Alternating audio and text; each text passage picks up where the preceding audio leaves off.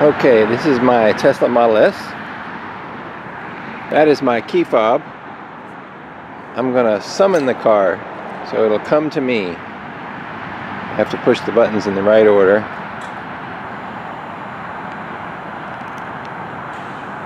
Here comes the car.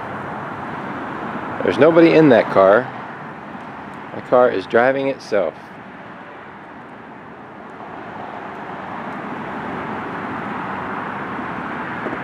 And it is now in front of me so I will push the button and stop it. If I hadn't pushed the button it probably would have driven into that field.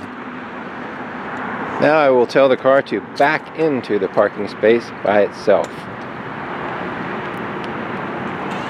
There it goes.